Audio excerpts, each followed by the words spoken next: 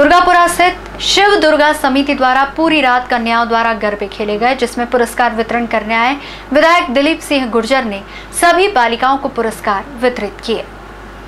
आपको बता दें, बब्बू सरकार मित्र मंडली ये आयोजन निजी खर्च पर करती है और विगत कई वर्षों से ये आयोजन कर रहे हैं।